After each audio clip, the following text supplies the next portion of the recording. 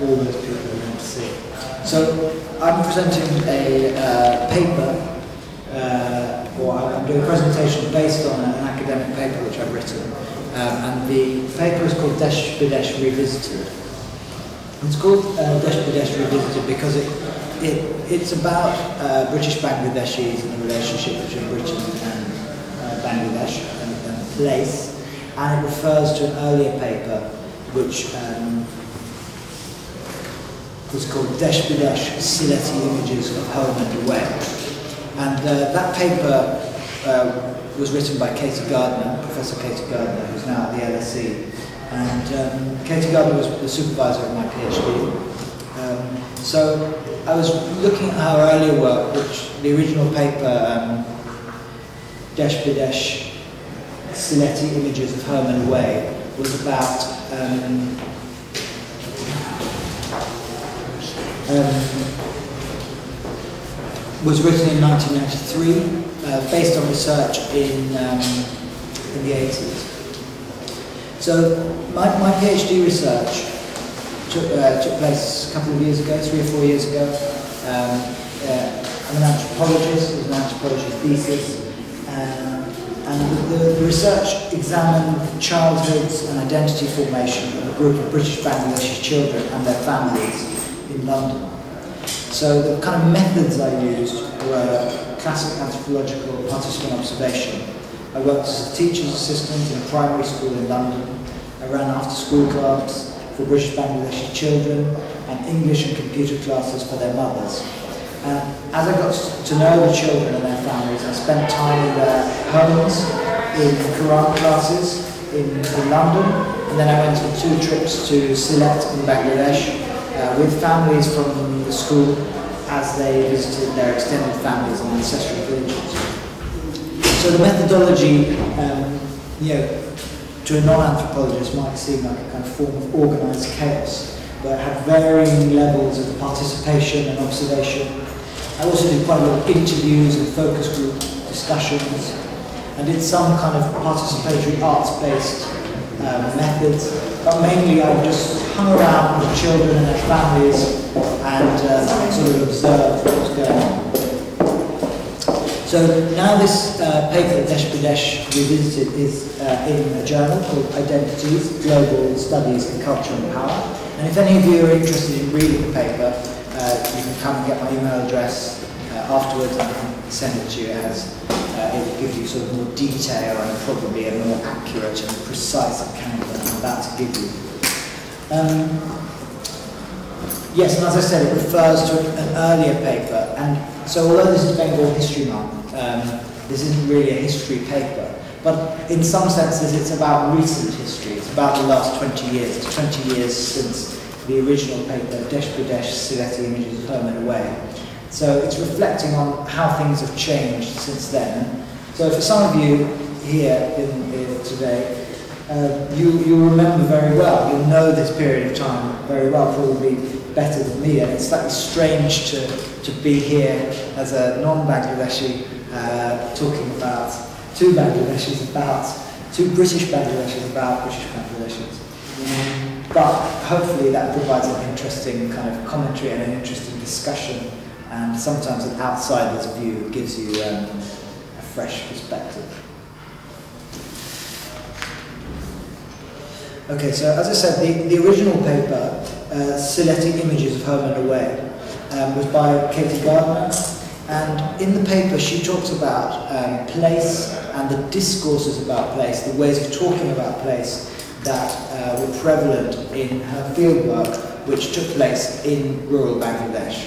She didn't do fieldwork in the UK, although she has subsequently, but the original um, fieldwork was in a village in Sylhet. And so she, um, it, she explores and explains the way locality is used in Sylhet to discuss, discuss and express desire and change over time. Desh refers to the home, land or country, while Bidesh refers to foreign countries. And connected, connected to these two expressions of geographical locations are reflexive sets of meanings and discourses. Bidesh is a source of economic capital and political power, which is very important in a poor country uh, like Bangladesh, which is dependent on remittances from migrants and development aid. And Bidesh is used and idealized to contrast with the poverty and insecurity of life in rural Sylhet. But Desh is important for group identity and belonging um, for Sylhetis, and it's rich in meaning and resonance. Seen as containing spiritual power linked to ancestry, nourishing food, belonging, and personal histories, as well as from the saint Shah Jalal, who brought Islam to the region in 14th century and was buried in Sylhet. So that's Katy Gardner's perspective on um, Desh and Bidesh, her analysis of these two locations, and that the physical locations have a set of discourses, a set of ideas connected to them. And on the slide there, I've put them in very, very simplistic terms, which is not really doing justice to the paper, but just to kind of make, try and sort of make it simple, that the Desh is materially poor, but spiritually rich. It has spiritual power which is connected to religion, but also that through the, the sort of family histories and ancestry and the, the, the special power of the, the land and the food, fish and vegetables and rice from the land is seen as especially nourishing in, in, in a sort of spiritual sense. And Bidesh, abroad, in this case London, which is materially rich but spiritually poor, kind of immoral in some way. Okay, so that was then. That was the 80s in Sylhet. And doing research on British Bangladesh in London, I sort of started thinking about this, as thinking that transnational relations, the relations between Britain and Bangladesh, are changing. Um, technology, particularly, has changed the way relationships happen. In the 80s, I actually lived in Bangladesh in the 80s as a child, and I remember um, calling my grandmother. And you had to call the uh, operator. You guys probably know this, this very well as well. And the operator would ring whoever you wanted to ring, and then they'd have to say, hello, there's someone ringing to me from Bangladesh. Say yes. And it was quite complicated and quite difficult. Now, everyone, not everyone, but many people have got mobile phones, there's internet, communication is a lot easier and travel has become cheap, relatively cheap. So what I want to do is talk a bit about transnationalism and introduce something which I call the British Bangladeshi social field. As I've said, there's more, cheaper and denser connections driven by technology. There's the phenomenon, of the decreasing importance of this discourse around the Desh, around the special nature of the land and the produce of Sylhet.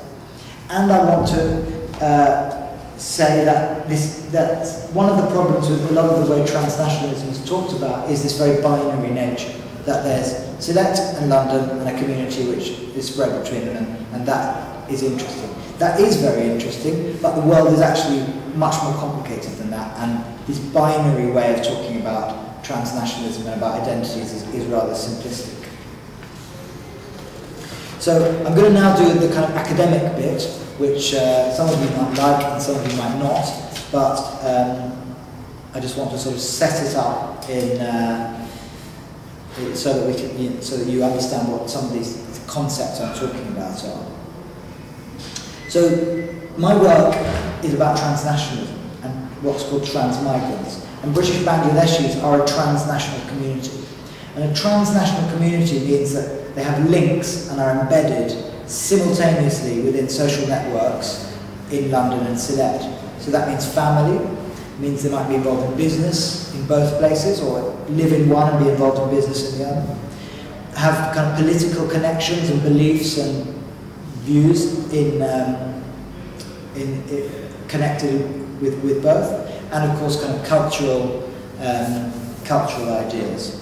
So here's some stuff from the literature. Transnational migrants are migrants that build social fields that link together their country of origin and their country of settlement. So this is the idea that when you migrate from one place to another, you don't just leave everything behind and go and live somewhere else. You maintain connections. And with all the technology that I was talking about, the Skype, the mobiles, the internet, that's increasingly possible. So how's that um, different from a diaspora? Good question. Um, subtly different. Diaspora originally comes from the, the Jewish diaspora and it means sort of scattering. Um, so there's a kind of diaspora and transnationalism are used quite loosely now, um, but the original sense of diaspora is that there's a sort of traumatic event or traumatic history which has sent everyone away and they live all over the world uh, but always refer to this homeland. And that, that is used very loosely now so that people talk about like hip hop diaspora or all kinds of different diasporas. But the, the original sense is that. So you could talk of a, of a Bangladeshi diaspora. There are Bangladeshis who live not only in the UK but all over the world. But um, transnationalism is used to talk about this kind of community and also in a number of other ways, transnational corporations, business, transnational financial Yeah, large scale trans- transnational migrants um, Yeah. innovation. Um, so it's just the original semantic um, origin of diaspora that's different. Yeah, I mean, most diaspora communities are also transnational. Okay. And many transnational communities could be said to be in the diaspora as well. So, yeah, it's quite it's a sort of semantic thing rather than. So you can have diaspora with more transnationalism. Um, Well, the ones that have cut off. uh, the ones that have cut off, but they might still maintain a link in their kind of imaginary. Uh, so it depends on how you define transnational. If you require actual contact and movement, then you could uh, to be transnational. Then you might say they're not transnational, but they're a diaspora. But I think you could be without any actual contact if they're cut off. I mean, like the Jewish diaspora for many years, like lots of them had no contact and never went to Israel, but it, it, it maintained an importance through the mythology that was connected to it, the religious significance of it. So it's quite a complicated question, but uh, I think you can use both to refer uh, to both. Okay, so in terms of one of the things, uh, I, one of the terms I use a lot is social field, which is about um, a kind of, it talks about community and it's about how um, people are connected to each other across space and that um, communities and the way people live together are increasingly social rather than physical. You have a network of people who perhaps live in your neighborhood, but sometimes even more important to that than that is a network of people who you who you agree with or you you communicate with on certain ideas. Uh, and these can go across national borders. You can have transnational um, social fields, which are multiple interlocking networks of social relationships through which ideas, practices, and resources unequally exchanged, organised, and transformed. So I conceptualise the British Bangladeshis uh, community or British Bangladeshis as being in a transnational social field. And by, by looking at it like that, I'm going to explain more about that, but by looking at it like that, that helps me to kind of look at the idea of Desh Bidesh and, and reconceptualize it, revisit it. So in, in Britain, um, British Bangladeshis feel quite ambivalent about Britain, or I, I, I found that. Some of the things that happen in British society, they, they don't like, they think are wrong. And we can all think of examples of that. And that's not to say that other groups don't also think that some of the things that go on in British society are very good, including people who would be counted as, you know, white British, often, uh, you know, ambivalent about it. But British Bangladeshis also experience different types of racism, and this make, makes them feel quite ambivalent about being British. They feel British, but they also not quite sure about it.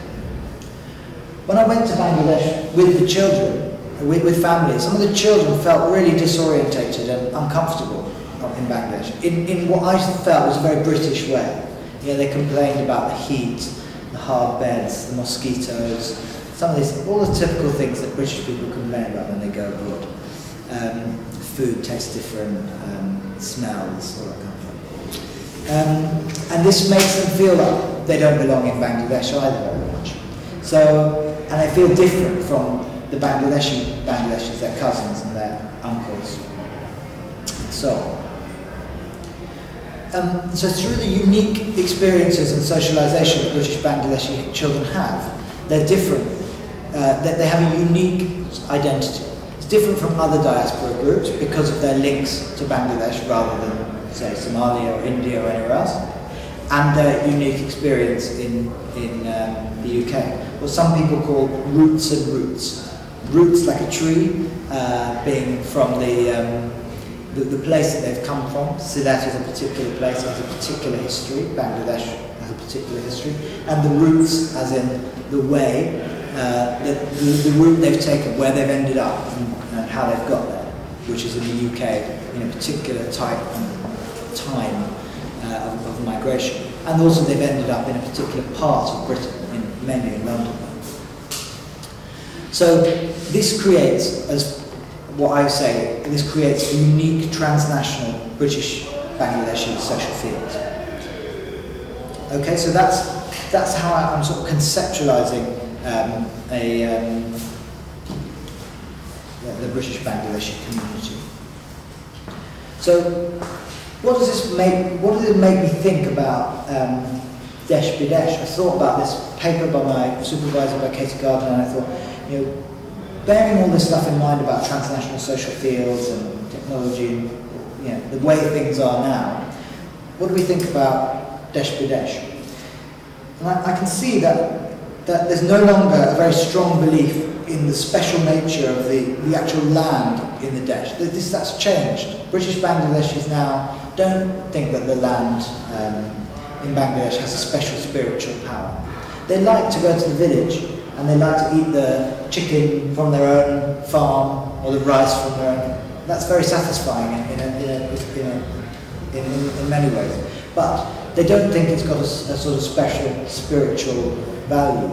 And um, in fact, I, I, went to Sylhet with his family, and the, the guy had been to um, these supermarkets probably around here and bought huge bags of spices, which he gave to each of his brothers, you know, big cup full of um, cardamoms and cinnamons.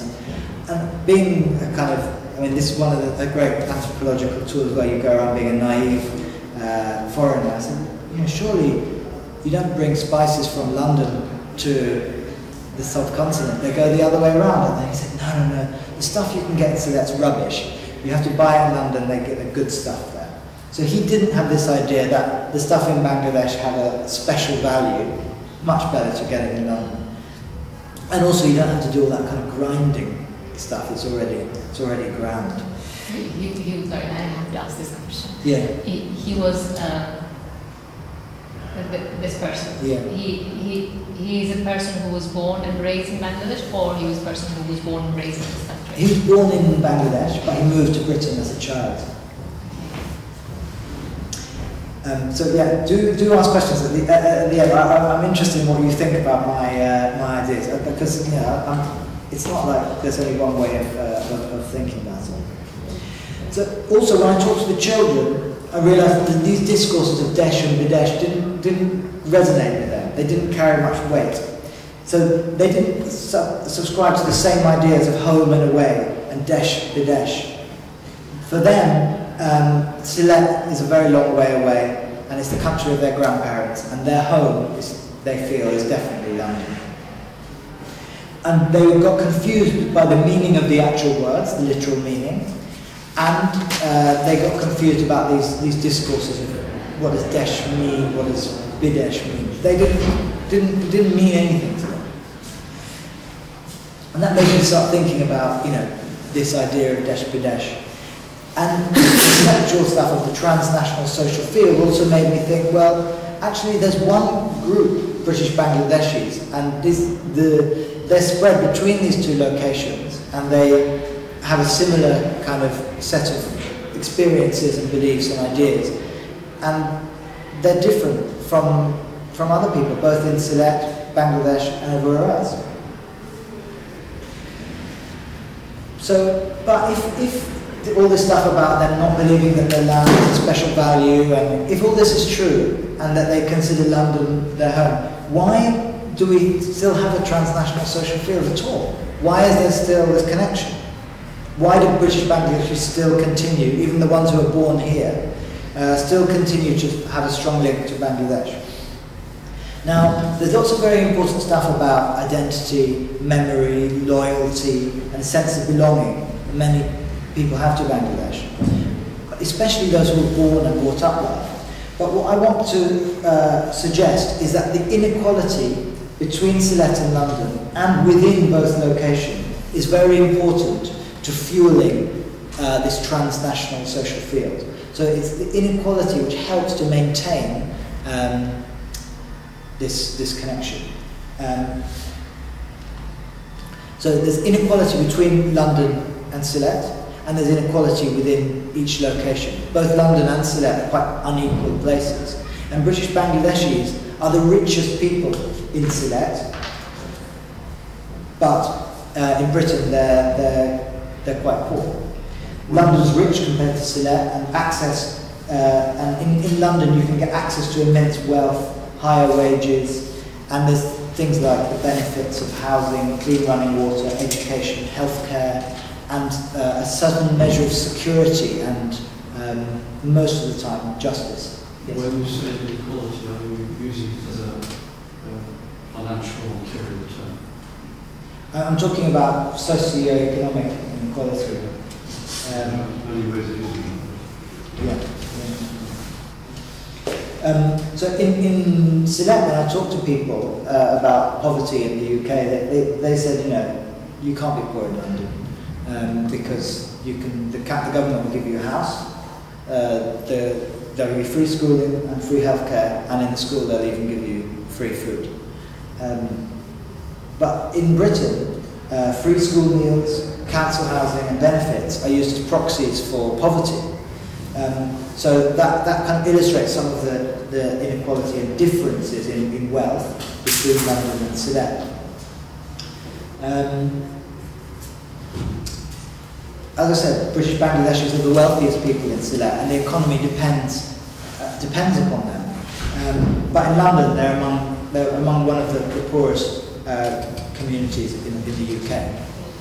Um, I, I won't go, go into that, but it, it's, it's, it's important, I think. So there are three main ways, probably more, but you know, I'm going to talk about three main ways which uh, these inequalities help to maintain uh, the transnational social field. One is through maintaining the desire for migration. Because of the inequality, because of the wealth of London relative to Sylhet, people from Sylhet still want to move to London. There's, there's a great demand uh, for migration. The migration from Bangladesh to the UK is very difficult now. The British government's made it very difficult for people to, to come in. So marriage is one of the main ways that people from Bangladesh move to the UK. Transnational marriages are very common and they maintain both just a flow of people from Sylhet to London, but also, of course, a much more significant continuing link culturally with people from Bangladesh coming over and bringing up children, and in terms of links between families. So we've just had a census, some new census data. Between 2001 and 2011, the number of British Bangladeshis increased from about 283,000 to 447,000. As you can see, an increase of 164,000 in summer. So I've got that data, and I looked at um, the data for uh, marriage uh, migration, something called grants of settlement, which is family reunification. Not all of them are marriages, actually, but a, lot of them are. And the, the figure for Bangladesh is about 44, uh, 45,000. So of the increase of Bangladeshis from between the two censuses, some is obviously made up of births, but 27% is made up of grants of settlement, which is mainly marriage. So that's quite a significant uh, proportion of the growth. So the unequal relations between uh, London and Sylhet create this demand for migration.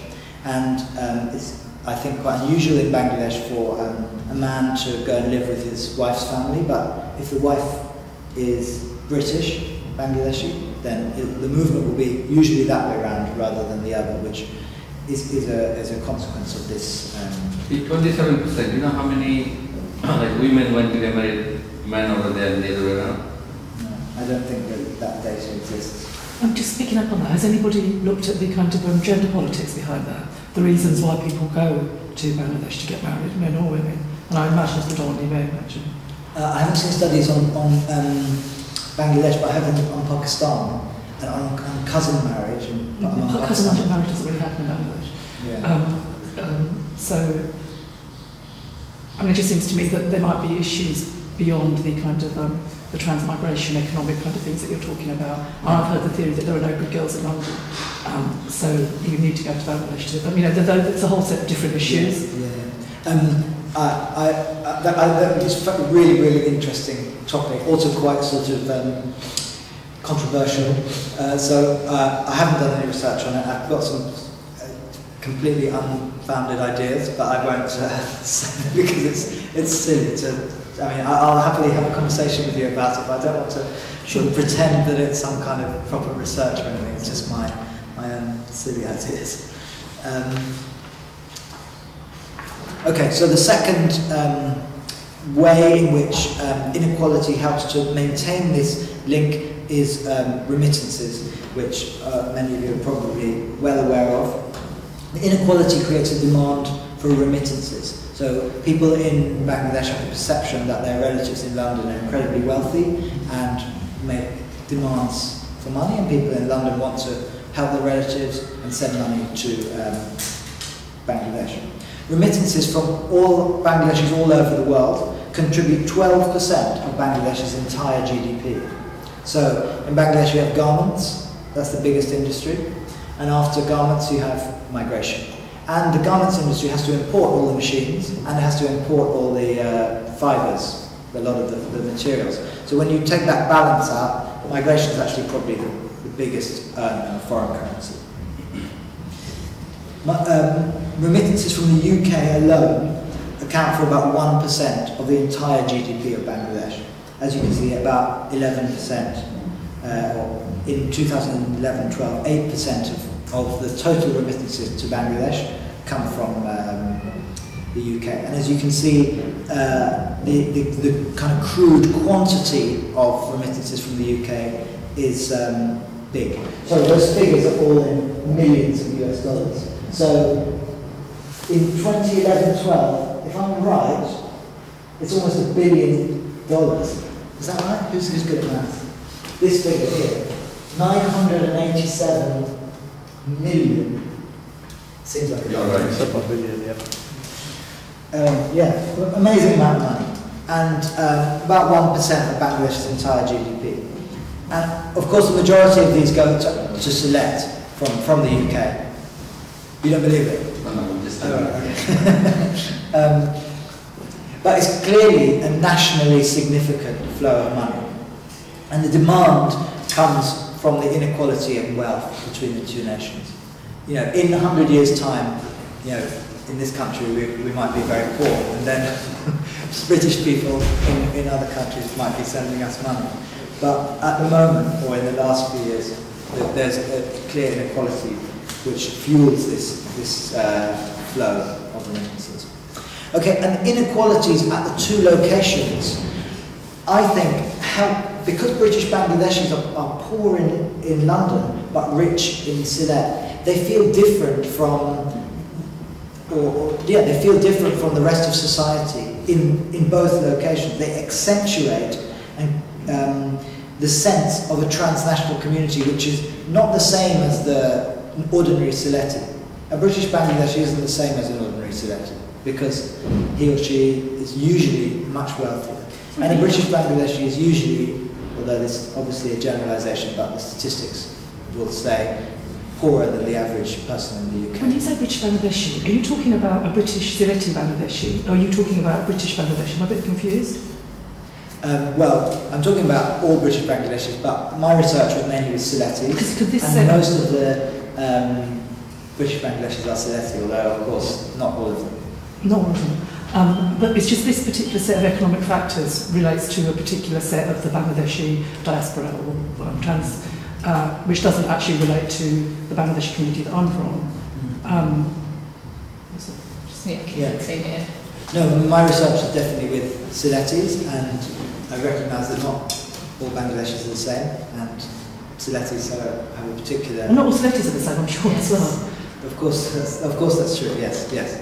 Uh, I'm, I'm not trying to say I'm not trying to say they are, and I'm very aware that uh, there there is a group of people in the UK who are Bangladeshi who are not Sylheti, and their experience and their roots and routes uh, are often very different. But equally, there's a group of Sylhetis in Sylhet who are quite wealthy and don't come to England because that isn't a driver for them to come to England. Yeah. So there's lots of parts to, this is just one particular part of the model, isn't there? But the trends are quite general, so you can actually generalize all British Bangladeshis. Not, yes, probably if you break down or go into deeper, you will find different factors in there. But in general, you know, most of the uh, indicators uh, will be will be pretty similar. Um, I, I I couldn't give you statistical figures, but just go from personal knowledge. Um, I, I mean, most of my, I'm Bangladeshi born. Um, I should do to the end because I'm interrupting your talk on myself. That's right, that's right. Well, we'll have a discussion for that. Yeah. Yeah, go ahead. Um, I'm happy to take questions, but probably it's better if we have a big uh, discussion at, at, at the end. I just make sure I understood the previous slide. I, were you, are you actually saying that 11 out of 12 uh, dollars in remittances are not from Britain? That's what that appears to say. No, 92% of all the remittances to Bangladesh are not from Britain. 8% of remittances. to Yeah, that's what, Bangladesh. yeah. So it's, uh, yeah, yeah. So, so the, the flow from Britain is, compared to the, the rest, is, is quite a small part. And then that raises the question of where those other remittances are from. Because actually they are countries Saudi, Saudi. Exactly, exactly. It raises questions about the polarity of wealth and poverty um, in those countries as well. Yeah. Because if, if Bangladesh is in the UK or compared to Saudi, actually. Saudi, Malaysia, Singapore. Not just Yeah, yeah but, but the point is it's 11 out of 12 or 92% or whatever. Um, it's, it's quite powerful. Yeah, but people uh, in Saudi, they are different type of people. They're They not are just Saudi, people. No, no, not facility. Yeah. Even Bangladeshi. There are Saudi. Yeah. They are there. but There's they- a they are- majority They, percentage they, of all they, they don't follow settle the they behavior. citizenship.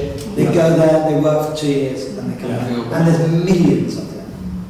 You know, the fl- Yeah. it's a huge flow. It's, so it's, it's a totally different scenario, really. But that's why it's, it's kind of They don't spend much of their money in the country. They spend. As a proportion of that, they earn much less than a British Bangladeshi, but as a proportion of their wages, they They probably send send back. back as much as they're humanly possible.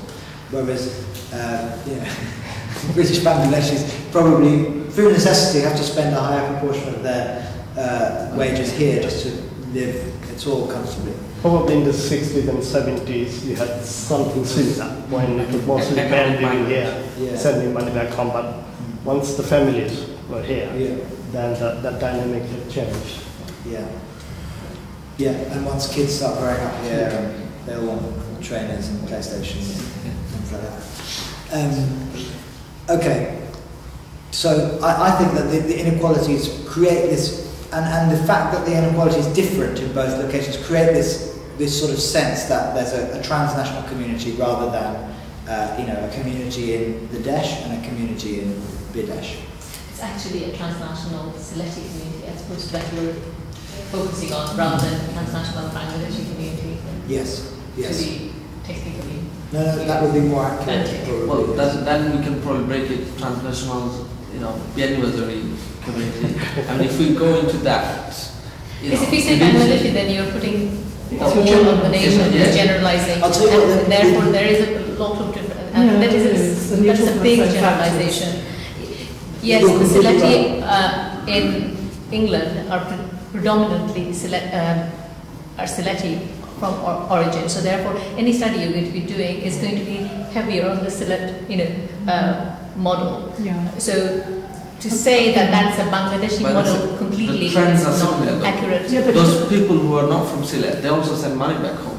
No, no, but don't forget a whole, um, in terms of the economic factors you're talking about, don't forget that there was a whole set of people that came over here, including my parents, for educational reasons. They came here to do further studies. There are a lot of Um, people who came here for educational reasons. Anyone It's not an attack, Let- it's just finish- a- we must finish. This is a really interesting discussion, and I Um, think, I I'm not, I'm I not think saying, right. I'm not saying that certain people are educated. I'm not saying they're No, not. no, I'm, I'm not saying you're saying that. Um, okay. Um, but, um, but all I'm saying, but the, the particular set of socio-economic factors, so it's Benjamin, Yeah. Um, um, that Benjamin is describing relate to a particular segment of, even within Sylhet, it, it relates to a particular segment of the Sylheti population itself. And I think the point that Rose and I, I think it is the same point, is to talk about the Bang- Bangladeshi diaspora or the Bangladeshi transnational culture, or whatever it is, um, in an over sort of reaching way um, in terms of those factors is misleading. But I think Benjamin did mention this study on No, no, that's fine. But sometimes Benjamin will say Yeah. Bangladeshi as well. um, Uh, I am conflating the two somewhat, and I think um, the term British Bangladeshi is quite sort of artificial and problematic, and it's sort of like a box that you tick on the census or on ethnic, there's forms that you have to fill in. Um, but when we talk about British Bangladeshis, often what we really mean is Sylhetis, and you're right that as a not a box ticker, but an academic an anthropologist, I should probably have been more precise about it. I think, I think you're right. Um, uh, and it's important to point out that there are British Bangladeshis who are not Sylheti, uh, although, as Amdullah said, my study was largely about Sylhetis. So, the British Bangladeshi or British Sylheti social field is only one of many transnational social fields that we are all connected with. So um, that was something I said at the beginning, that was one of the problems with the way transnationalism is often studied and understood, and I think that social fields as a way of conceptualizing help you to see that we're all connected with many so- social fields, some of which might be local, national, transnational.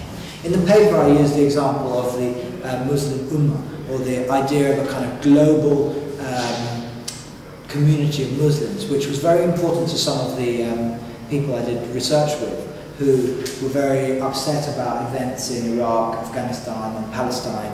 And I was saying to um, earlier that they, they wanted to send um, money that they'd raised for charity, and they were debating where to send it. Should we send it to Bangladesh? And they said, no, you know, let's send it to Palestine. They're, they're really in need of our, our help. Um, so there are lots of others, and I've just written a silly list of types of things. You know, there's a South Asian diaspora, there's a group of South Asian people, Indian, Pakistani, uh, Bangladeshi, who often find in um, the far off countries they live, from, they share certain um, interests, uh, such as, for example, Bollywood, people involved in environmental movements, which are transnational, political groups, whether to parties or non-party groups, and then, you know, other interests that people might have. Uh, I've been working a bit in Africa, and the, the, the sort of popularity of British football all over the world is astounding to me, and it's almost like it's a transnational community of people who follow, you know, Arsenal, Manchester United, Liverpool, whatever. And as I said about the word diaspora, I've heard the term hip hop diaspora, and there, you know, that's another pop music industry is another very transnational uh, type of industry which might have, might be able to conceptualize as social fields which are interested in particular types. So British Bangladeshis are not only interested in the British Bangladeshi social field, the British Sylhetis are not only interested in this social field, they're interested in a range of uh, social spaces which don't necessarily correspond with nations, um, and some of which are global, such as uh, Islam. So that was part of my critique of the of the Desh and of the ways transnationalism is often understood. So, what does this all tell us? Well, in the paper I try and make two arguments. One is that um, the emergence of this British Bangladeshi social field, well as some other uh, factors, have made the discourse of the Desh as being sacred and special less important and that British Bangladeshis are, are embedded into many transnational social fields and lead, lead multiply orientated rather than binary lives. So things that happen in Sylhet of, and London are very important to British Bangladeshis. But as we know recently, things that happen in Athens or in Moscow or in New York could also be very important to them because they're embedded within different um, as I said before, different social fields or different transnational things. So reflecting back on Katy Gardner's work and on this paper on Desh Bidesh made me think about transnationalism.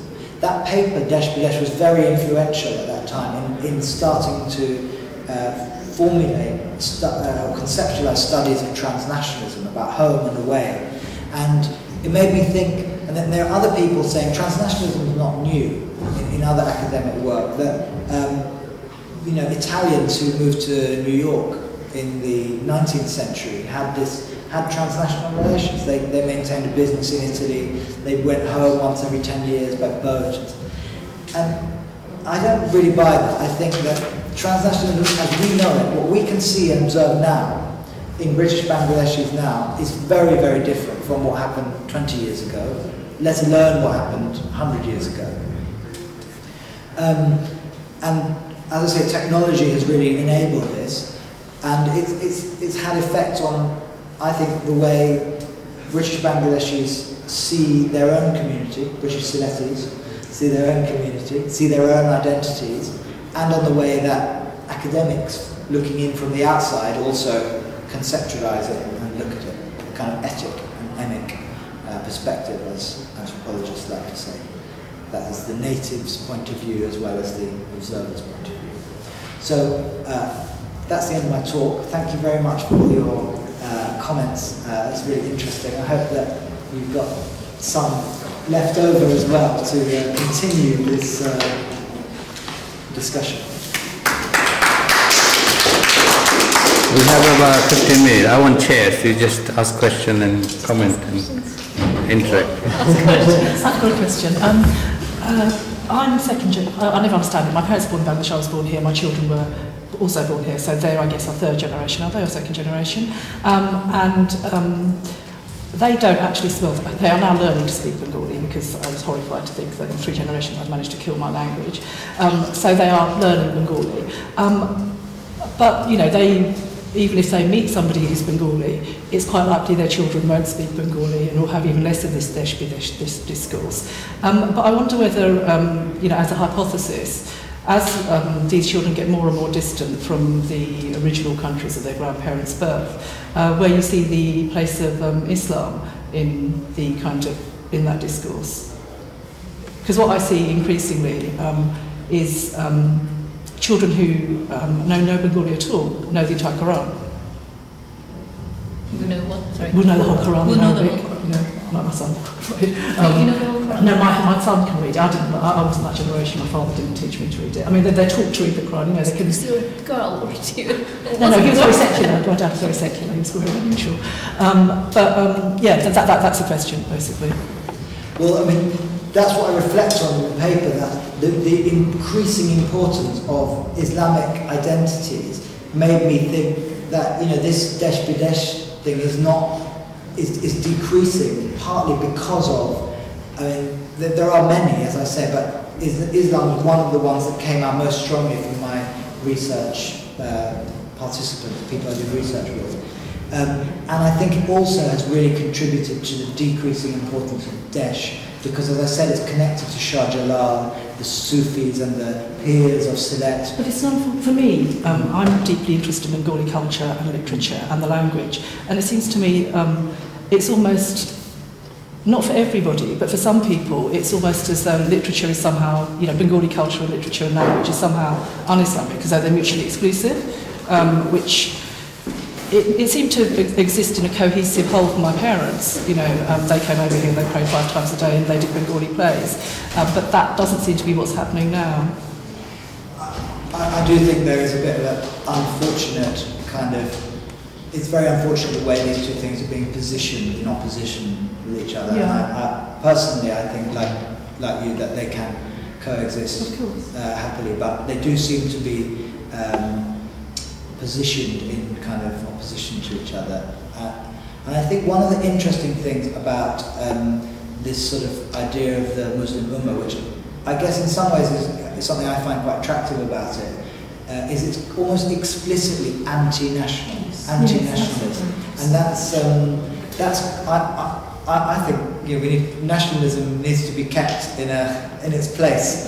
So uh, so Oh, so, but that's, that, that, that, that doesn't mean Bengali culture That's different. Nationalism is different from, like you were saying, language and play. The country is part of nationalism, though, isn't Yes. it? I mean, it, it depends on how you define nationalism, closely doesn't it? yes. Great.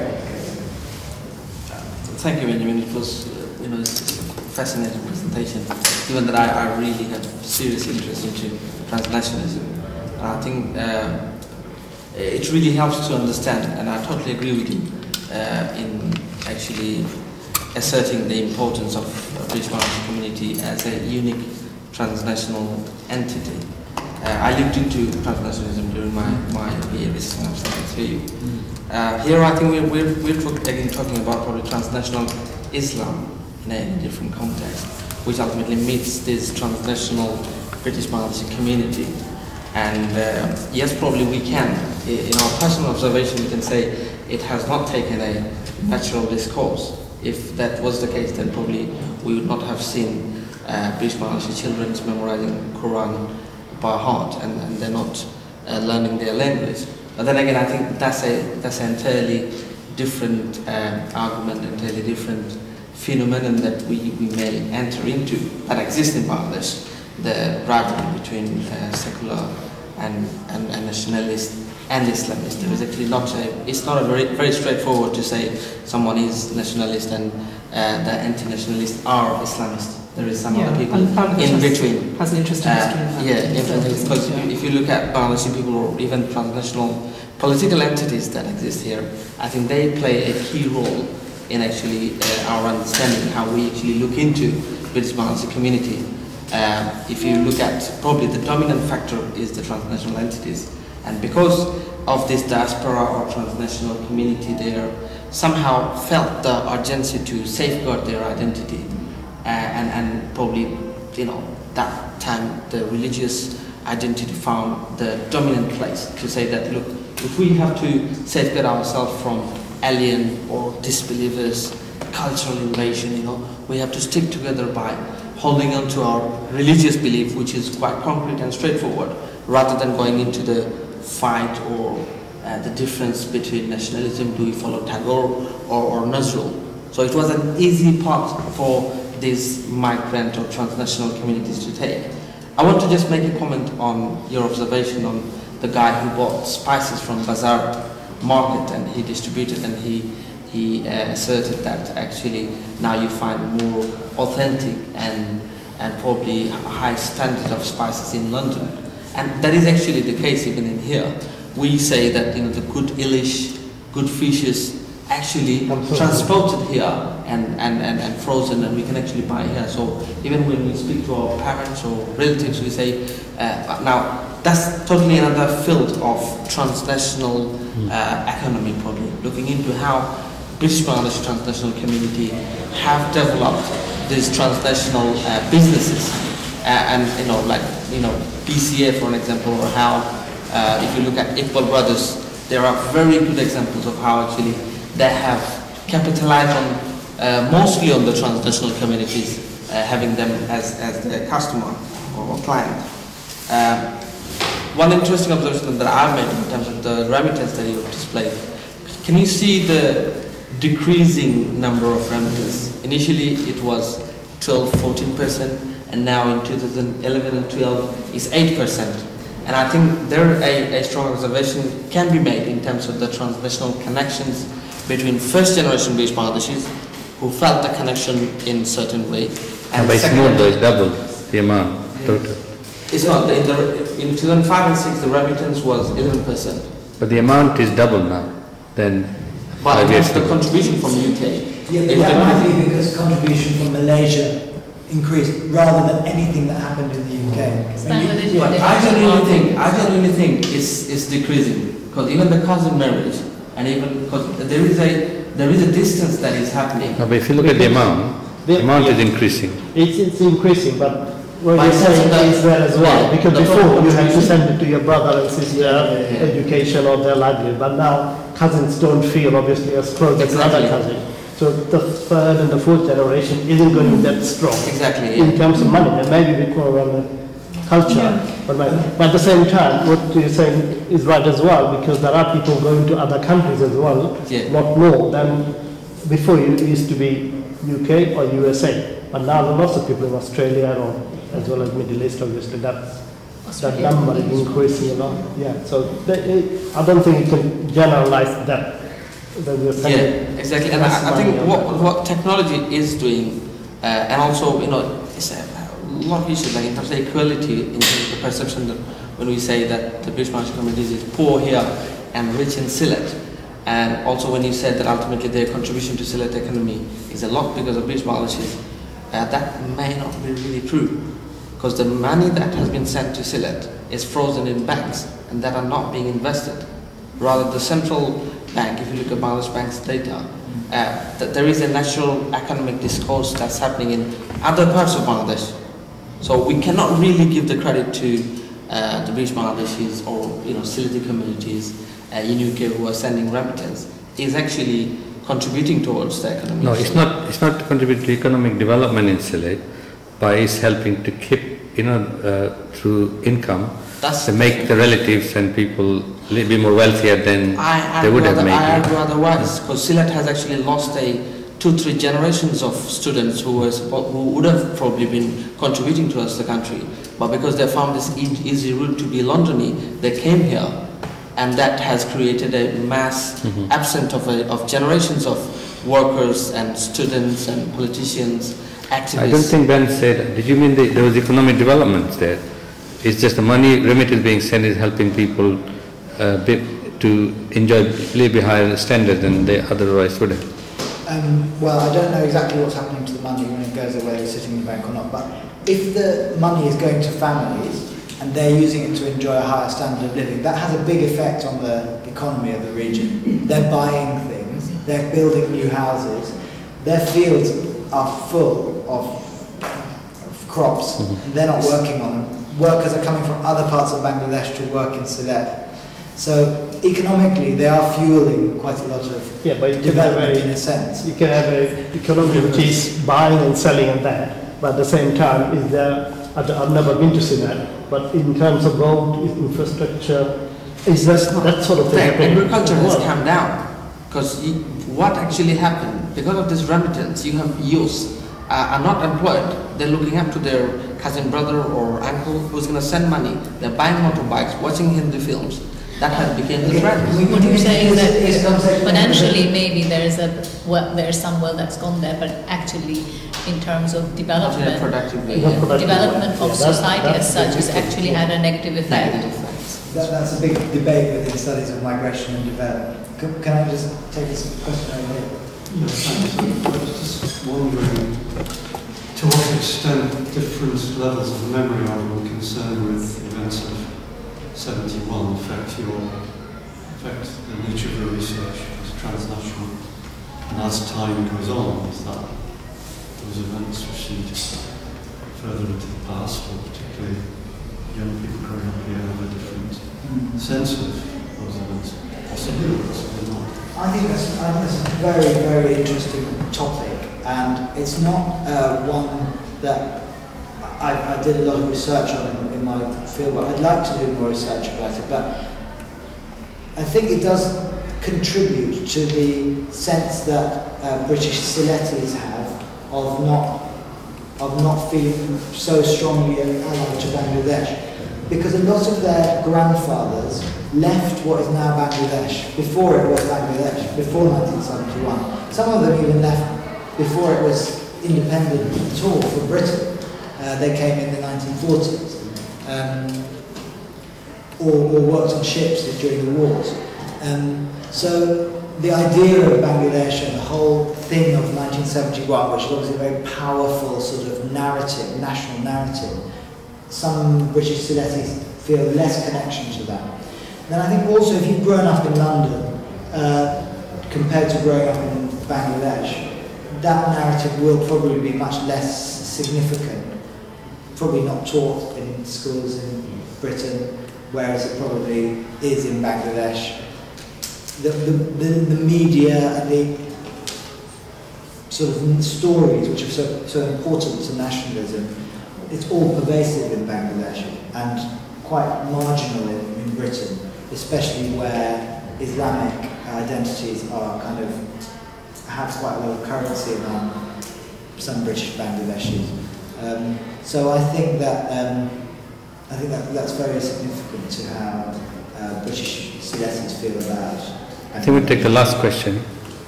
Yeah, um, I was just interested in finding if there have been studies done on um, people, British Bangladeshis living here, and what percentage are actually marrying um, so going to Bangladesh and marrying and bringing their spouses over, and actually how that that um, influences or contributes to their identity. Because, you know, personally, from my personal experience, marrying someone who's Bangladeshi has made me more interested about historical events or you know current events in Bangladesh, whereas I probably wouldn't have been if I'd been married to somebody here. And for my children as well, because their identity is their father is the first generation here. So, you know, all this opens up this, perhaps um, another um, study, it's not already been done, how, what percentage of Bangladeshis are actually marrying abroad and how that is contributing to, or perpetuating this identity with Bangladesh. Um, have these studies done. Um, I, I, I, they might have, but I'm not, I'm not aware of them. Uh, and I don't know what percentage of British Bangladeshis marry someone from Bangladesh. Um, but of the children that I knew in the school and I did research with, almost every single one out of, uh, you know, I, I got to know about eight families quite well, and there, were- there were more who I interacted with on a more superficial level. But about eight families I got to know quite well, all of them had one parent born in London and one parent born in Bangladesh. And what it does is this idea of first, second, third generation is kind of much com- more complicated because you've got kind of uh, freshies uh, coming who you know don't have any of this second third generation. They are sometimes from a village in Sylhet, and they come with all of that. Um. Again. They, they come with a, a, different perspective on, on life, on childhood, on culture, on religion, and of course that's influential on, on. Because I suspect um, it's probably more so Bangladeshi groups than other South Asian groups, perhaps um, comparing it to perhaps Indians.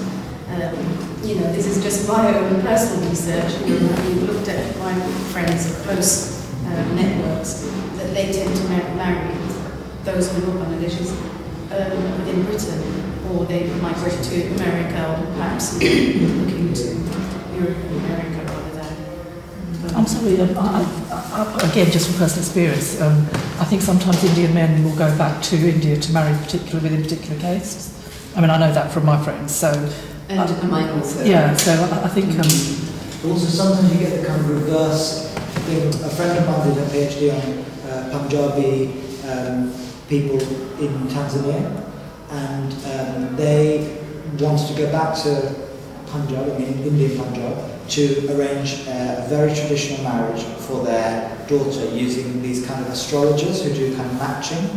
And they got back to their uh, sort of ancestral village, and the people were like, "What are you talking about? We don't, we don't do that." kind of stuff." and they had this strict idea, no, we're going to do it the proper way, in a traditional way. So sometimes the, the sort of diaspora communities, uh, you know, are very kind of stick to these old traditions in a way that. Uh, Frozen in a time Yeah. warp of the time when I think certain generation. I think I think we'll have to stop. I just want to say uh, one thing or two things. one thing you might want to uh, look into. You know, there's a lot of mixed race Bangladeshi children, Bangladeshi marrying outside. What kind what, what kind of transnationalism they have? right, Yeah, that's one thing. The other thing about the freshie you mentioned. You know, we were running a workshop outside Whitechapel Station on prejudice uh, at art workshop. So one person drew something and said, I don't like to be called a freshie. so is it, is it sort of derogatory term? Happily admit. Is it a derogatory term? it is kind of, I think so. Should I don't like I? my children using it, I have to say. I've never, I've never used the term before. I don't like it when the voice It's, is it's that thing like fresh off the boat. So It's, it's, people has a derogative. uh, don't know what's going on here, you know, it, it may be I that shouldn't different. The newcomers. I think, I think we have to stop now Yeah. for the Thank you next very much. speaker. Thank you very much, Rayu. Stay on.